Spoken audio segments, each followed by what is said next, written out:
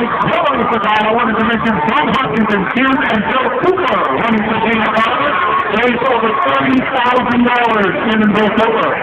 Alpha Frank from EMC, who's training today to retain the line team, all ready and just over the road.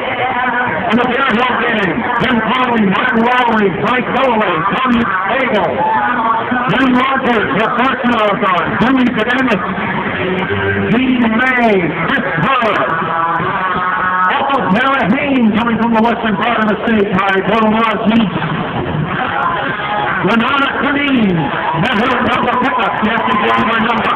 And Nancy Brady, sister of Tom Brady, running for Dana-Farber also. Now that Kelly Strider, you ball. Look at look at oh, the Rantario is right.